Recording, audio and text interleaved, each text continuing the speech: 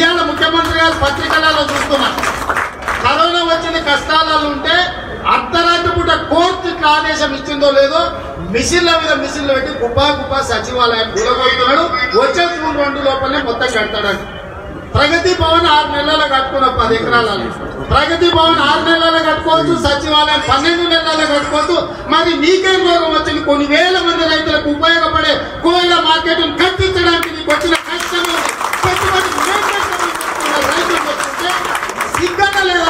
లేదా రాష్ట్ర ప్రభుత్వాన్ని. నేను ఇవాళ మీకు కావాల్సి వస్తే ఫ్లడ్ లైట్ వంటి రాత్రి పగళ్ళు మీరు కట్టించుకుంటారు కదా.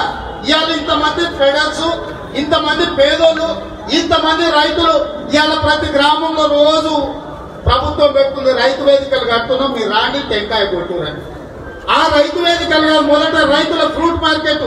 ఏదైతే కష్టపడి అహోరాత్రులు కష్టపడి పండించిన పండ్లను అమ్ముకోవడానికి ఒక మార్కెట్ లేకుండా చేసి నిల్వ నీడ లేకుండా చేసి అలా రైతు ఉసురు కొట్టుకుంటూనే రాష్ట్ర ప్రభుత్వం ఊరిపోతుందా వీళ్ళ ఉసురు తగ్గకుండా పోతుందా అని నేను అడుగుతున్నా.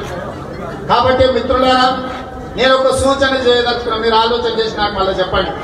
బుధవారం రోజు కలెక్టర్ గారు కలిసి ఎందుకంటే మంత్రులకు ఈ శాసనసభ్యులకు మన కళ్ళలో చూసే ధైర్యం లేదు.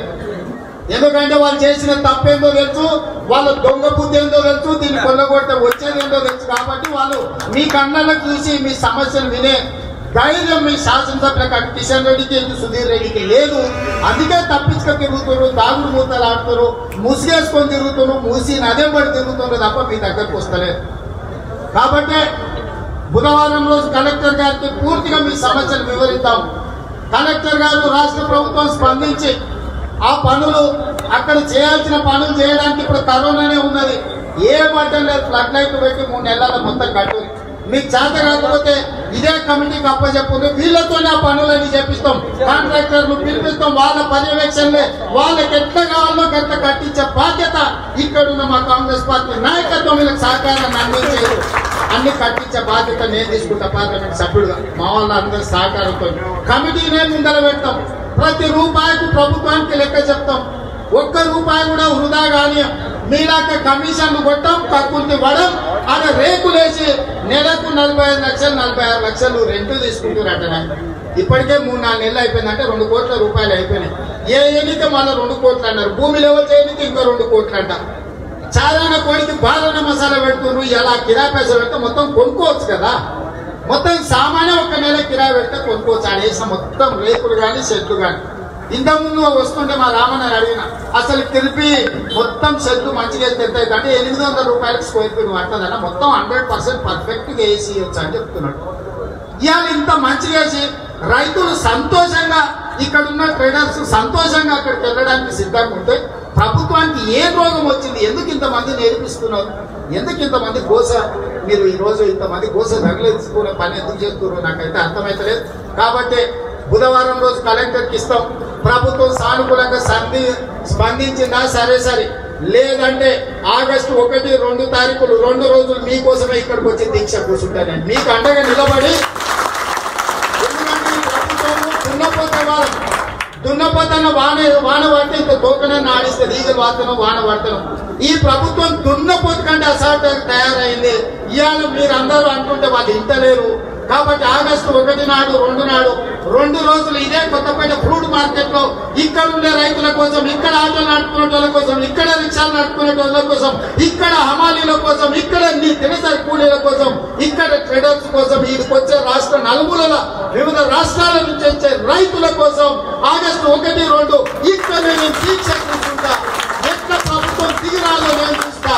ఒకవేళ ఇనకపోతే ఆ తర్వాత కార్యాచరణ మళ్ళీ మనం చర్చించుకొని నిర్ణయం తీసుకుందాం. మీకు అండగా నేనుంటా ఎవరు అదే పడాల్సిన పని లేదు. కొట్లాడి సాధించుకున్నాం కొట్లాడి తెలంగాణనే తెచ్చుకున్నాం. దాని అమ్మ మార్కెట్ కమిటీని కట్టించుకోలేమా అని నేను మీకు అండగా నిలబడతాను ఈ ముగ్గురికి ఇద్దరు ఎమ్మెల్యేలకు మంత్రమ్మకు సవినయంగా నేను మనవి చేస్తున్నా. దయచేసి అర్థం చేసుకోండి. ఇక్కడ ఉన్న వాళ్ళ ఆవేదన మీరు అర్థం చేసుకోండి. మీకు స్వార్థం ఉండొచ్చు మీకు కమిషన్లు రావచ్చు లేకపోతే ఈ భూమి అమ్ముకొని మీరు బాగుపడదామని మీరు అనుకుంటుండొచ్చు మాకేం అభ్యంతరం లేదు. కానీ ఉన్న పలంగా నడిపజారులు పడేస్తాం పడేస్తే మాత్రం చూసుకుంటే అయితే ఊరుకోమబ్బా నేను ఒక మాట అయితే చెప్పదలుచుకున్నా. మన కార్యకర్తలు కూడా మన నాయకులు కూడా ముఖ్యమైన వాళ్ళు అందరూ. అదే అదే అదే ఎట్లా చేస్తుంది? దాన్ని ఏం చేయడం దాన్ని అందరికీ కలిసి చేయడం ఇక్కడ ఉన్న నాయకులకు కూడా అందరికీ మా ప్రభాకర్ కూడా టైం ఇవ్వాలిగా కొంత ముందుకు ఆయన రైతు కమ్ నాయకుడు రెండు ఉన్నాడు ఇక మిగతా వాళ్ళు అందరూ ఇస్తారు. శశి శశి ఉందండి శశి అందరూ ఎప్పుడు కావాలంటే టైం ప్రభాకర్ ఒక్కడే కొంచెం అప్పుడప్పుడు బిజీగా ఉంటున్నాడు. అందుకోసమనే ఆ రోజు రెండు తా ఒకటి రెండు తారీఖు మన వాళ్ళందరికీ రాను వాళ్ళకి మన జిల్లా పార్టీ అధ్యక్షుడు నరసింహారెడ్డి నుంచి మొదలు పెట్టి అందరికీ చెప్పండి. నేను కూడా అందరికీ చెప్తా. మిత్రులారా మీరు కూడా ఇక సిద్ధంగా ఇది అడుక్కుంటే అయ్యే వ్యవహారం కాదు. నేను ట్రేడర్స్ కూడా విజ్ఞప్తి చేస్తున్నాను ప్రభుత్వం నుంచి ఒత్తిడి ఉంటుంది. మీ మీద ఎందుకు ఇచ్చి రాయాలి సభ మీకేం పొందేదాన్ని మీ కొంత ఒత్తిడి ఉంటుంది. ఇవన్నీ కొన్ని సమస్యలు ఉంటాయి. కానీ ఇంకా వీటిని ఎదుర్కోవాలంటే మనము పోరాటానికి సిద్ధం కావాల్సిందే ఆగస్టు ఒకటి రెండు ఈ లోపల వాళ్ళు మిమ్మల్ని పిలిచి చర్చించి మీ సమస్యను సానుకూలంగా పరిష్కరించడానికి ప్రభుత్వం ముందుకు వస్తే సరే సరే. ఒకవేళ ప్రభుత్వం ఆ రకంగా ముందుకు రాకపోతే మీరు సిద్ధం కానీ మీకోసం ఆగస్టు ఒకటి పదకొండు గంటల నుంచి ఆగస్టు రెండు సాయంత్రం ఐదు గంటల వరకు ఇక్కడనే నేను దీక్ష కూర్చుంటాను మీ మధ్యలో